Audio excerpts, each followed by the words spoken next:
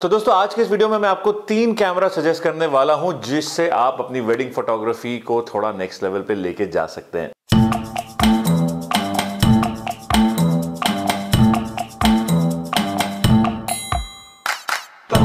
Hi friends welcome back to my channel मैं हूँ Praveen Bhatt. Am celebrity fashion and advertising photographer based out of Delhi तो दोस्तों wedding photography business अपने में ही एक बहुत ही वास्ट और बहुत ही बड़ा बिज़नेस है।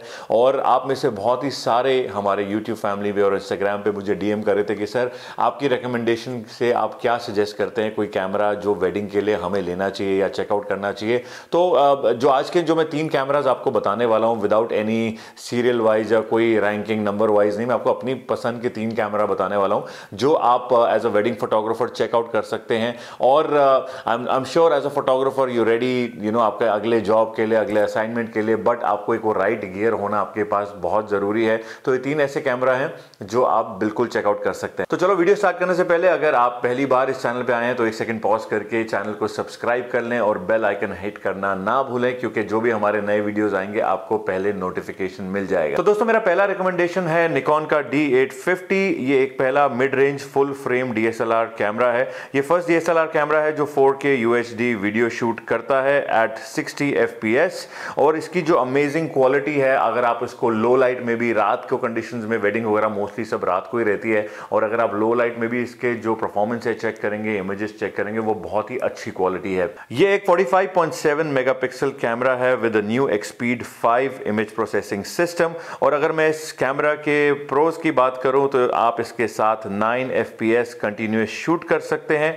एक्सपीड 5 प्रोसेसर है जो कि बहुत ही फास्ट है और बिल्ट इन एन और वाईफाई का भी फैसिलिटी अवेलेबल है, जिससे आप डेटा बेटा अपना फटाक से ट्रांसफ़र कर सकते हैं। और कॉन्स की बात करूँ तो एक चीज़ है कि इसके अंदर जो बिल्ट इन फ्लैश है वो नहीं है। तो दोस्तों, मेरा सेकंड रिकमेंडेशन है सोनी का A7R3 it's a great camera छोटा साइज़ है, लेकिन lots and lots of megapixel in it और वैल्यू फॉर मनी भी है। तो जो A7R3 है दोस्तों, ये दुनिया का first full frame back illuminated CMOS sensor with 42.4 megapixel and also ये आता है 399 focal plane phase detection system के साथ। इसके जो एफ़ पॉइंट है वो बहुत ही ज़्यादा फास्ट है, बहुत ही ज़्यादा एक्यूरेट है। और स्पेशली सोनी आप सब जानते हैं लो लाइट कंडीशन में वीडियो के लिए बहुत ज़्यादा लोग इसको रेकमेंड भी करते हैं और बहुत लेते भी है। तो ये लो लाइट में डेफिनेटली बहुत ही अच्छा परफॉर्म करता है। और जैसे मैंने कहा, छोटा कैमरा है बट इस छोटे कैमरा में बहुत सारी अमेजिंग चीज़ें हैं। अगर इस कैमरा के प्रोस की बात करें तो ये 10 F P S continuous shoot करता है।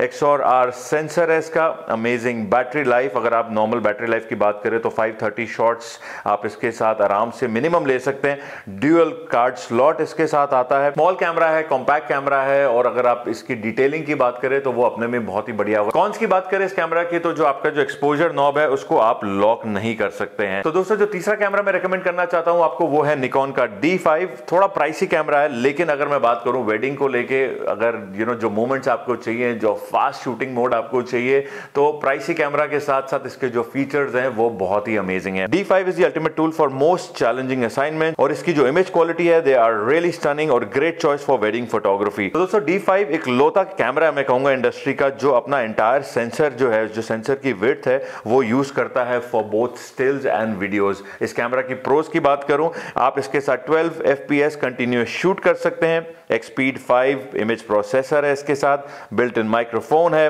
180 के पिक्सल आरजीबी सेंसर है और अगर कॉन्स की बात करें तो मुझे लगता है कि कैमरा थोड़ा प्राइसी है। जी हाँ ये प्रोफेशनल्स के लिए बना हुआ है हाईटेक है थोड़ा सा तो बिगनर को इसको यूज़ करने में थोड़ी सी दिक्कत हो सकती है। ये तीन कैमरा थे जो मैं आपको रेकमेंड करना चाह रहा हूँ और हर फोटोग्राफर की एक अलग से एक नीड होती है। हर एक का कुछ अलग प्रोजेक्ट होता है, अलग रिक्वायरमेंट होती है। तो मेरा रिकमेंडेशन आपसे एक बार ये है कि जो भी सबसे पहले आपका बजट है, आप उसको जॉट डाउन करें, देखें उस बजट में आपके पास यू नो क्या क्या मॉडल्स और क्या क्या ब्रांड्स अवेलेबल हैं और सबको एक बार टेस्टिंग करें। कैमरा मेरे हिसाब से सब एक से एक आज की डेट में बहुत अच्छे कैमराज आ रहे हैं।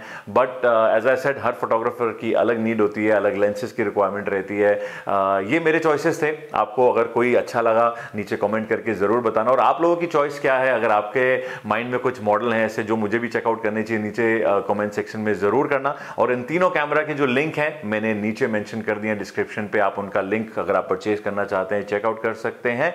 Insta family 220k hogi link is right here. You can uh, join me today and i'll be back with the next video very soon. Bye bye thank you